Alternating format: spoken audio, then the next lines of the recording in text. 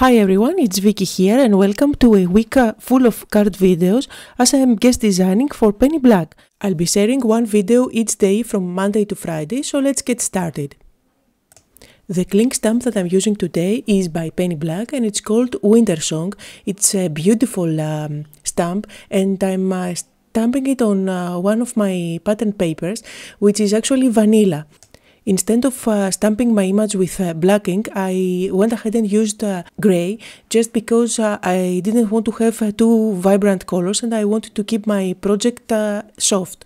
So once my image is there, I'm stamping again only the part with the bird on one of my solid red patterned papers. I'll uh, go ahead and use my scissors to cut out that uh, red bird and I'm going to stick it with adhesive on top of my main uh, stamped image. Now I'm keeping this image uncolored and uh, that's on purpose because I want to keep uh, that bird uh, the focal point. However, I'll be using my white gel pen to add uh, white details on my card.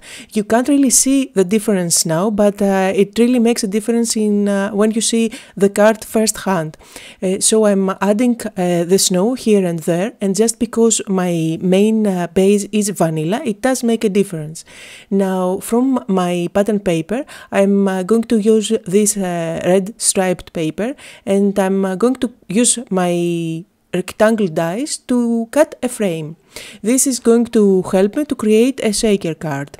So I'm uh, passing through my Cuttlebug and now I have my frame which I'm uh, going to stick on top of my transparency. Now I have a transparency cut out in uh, the same um, size as my rectangle. So I'm using adhesive all around the back of my rectangle and now I can uh, stick uh, those together. I'll be using a foam tape at the back to uh, create a raised uh, frame and uh, to do so I'll be using twice the foam adhesive just because mine is very thin. Now it seems that shaker cards are on trend lately, so I just had to make one myself. I'm uh, highly inspired by Nichol Magouirk. She's a friend of mine and she makes amazing cards.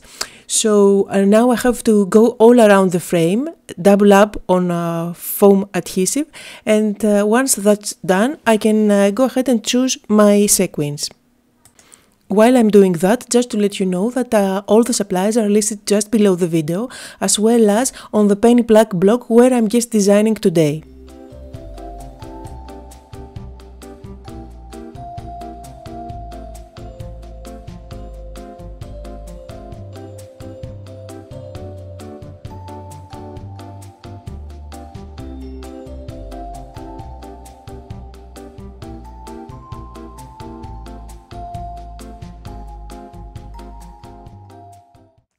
Before sticking the frame on top of my image, I used my white gel pen to add just a bit more white details on my image. So I'm mainly concentrating on the part that uh, of the image that is going to be showing through the window and I'm adding a bit of snow on top of the branches as well as added uh, some uh, white details on the tree trunks.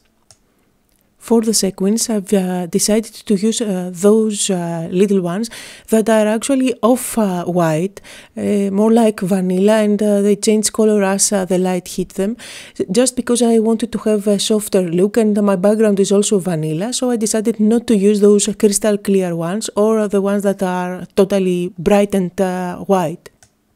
My window now is ready, so I can use my scissors to cut out the excess and uh, once that's done, I can uh, go ahead and create my card base. For my card base, I'm using a cardstock that's uh, four and a quarter by five and a half. That's a standard card. And I'm covering the front of my card with uh, this pattern paper. It's uh, dark and uh, quite busy, but this is going to be only on the background. I, it turned out that it was slightly bigger than my card base, so I had to use my scissors there and cut out the excess. And now I'm using uh, tape adhesive at the back of my window and just make sure that I'm uh, sticking it uh, correctly on my card. I have used one of my older dies from Penny Black to create this banner. That was the Pocketful die set and uh, now I'm using this stamp set, which is uh, called um, Joy Filled, and uh, I've used the Happy Holidays sentiment that uh, perfectly fits my banner. To stick my banner on top of my card, I used some uh, foam adhesive at the back and my card is ready. And that was the card for today. I hope you had fun and got inspired. Don't forget that I'll be guest designing the whole week over at the Penny Black blog, so join me tomorrow for another Christmas card. Thank you all for watching.